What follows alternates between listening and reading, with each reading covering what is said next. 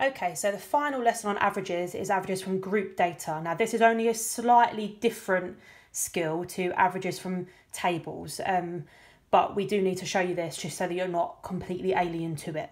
So there's your yellow. Your key points um, are that sometimes data in a table is grouped. Now, what this means is that we don't know the exact values in the data, but we can still find the average groups. Now, these groups have a special name, they're called class intervals, and you need to know this because they'll mention this in the GCSE questions. Um, the methods are very similar to averages in a table, as you'll see. Um, it's only for the mean of group data that you have to add one more step. So we're going to move on to a worked example now once you've written down those key points. Okay, so some students sat a physics exam. The time they spent revising is shown in the table. Now, these are what I mean by class intervals, and this is what I mean by the data being grouped. So, what this means is 27 students revised for between 0 and 5 hours, because this means H, number of hours, was greater than 0 but less than or equal to 5. 44 students revised for between 5 and 10 hours, 21 between 10 and 15, and 8 between 15 and 20. Now the first question, write down the modal class interval. So this just means write down the modal group. This is exactly the same method as finding the mode from a table. So we look in our frequency column, we're looking for the most frequent, which is obviously 44.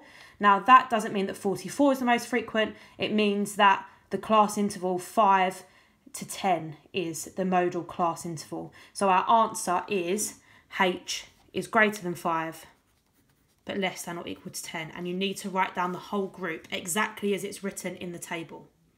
So that's just one mark. The next is find the class interval that contains the median. Again, it's very similar method to the previous um, lesson. The first thing we need to do is the num total number of numbers here. So when you add up these numbers, 27, add 44, add 21, add 8, it gives you 100 and then we do the 100 plus 1 divided by 2 and that gives you 50.5th value. So that's what your answer, you're looking for the 50.5th value. And once again, you go back to your frequency column and you add up going downwards until you get beyond 50.5. So 27 isn't beyond 50.5, so you go to the next one. 27 add 44 is 71. Therefore, we can see that the 50.5th value must be in this group here, this class interval, um, because 71 is bigger than 50.5. So our answer for the class interval, which contains the median, is also 5 to 10. So that's our answer for the median. Okay, our final question um, is about the mean. Now, when it says here estimate, it doesn't mean that you have to round anything which is the other type of estimation in maths.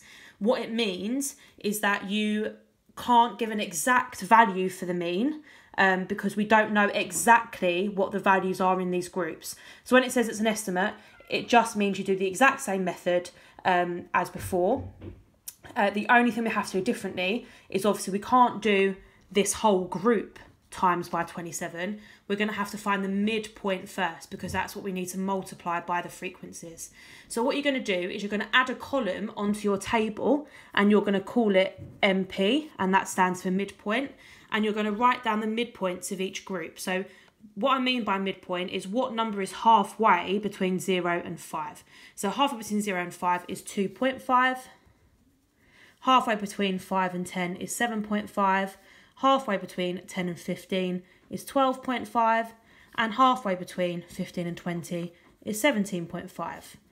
Once you've found your midpoints, these are what we're going to use to multiply by the frequencies. So your final column, you will title it midpoint times f, which means midpoint times frequency.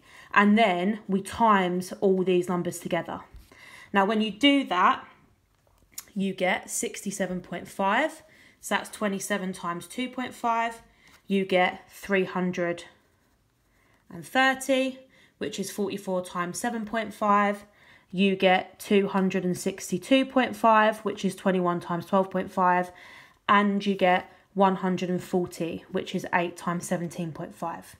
Now, once you've done that, same as when we did averages in a table, we add these up.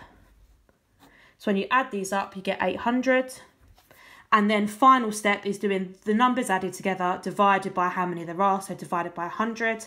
So our final step is to do 800 divided by 100, which is obviously 8. So the estimate, estimate for the mean is 8 hours spent revising, okay? Now, double check again, are all of these averages roughly the same? So obviously these two are the same, so that's helpful, and 8 does lie in this group between 5 and 10, so yep, that's reassuring. So make sure that you've got that worked example written down before we move on to a your turn question. Okay, so what you should do now is have a go at this question on your own and we'll go through the solutions, but pause your video, have a go at this question, and then you can see how you did. Okay, so part A says write down the modal class interval. So what you should have done, looked at the frequency, seen that 31 was the highest, which means that 30 to 40 is our modal class interval. Again, you have to write it down exactly as it says in the table. Okay, the next one, find the class interval that contains the median. So first things first, we need to know what these things are added together.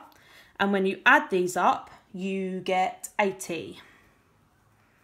And then we do the same method, 80 add 1 divided by 2 gives you 40.5th value.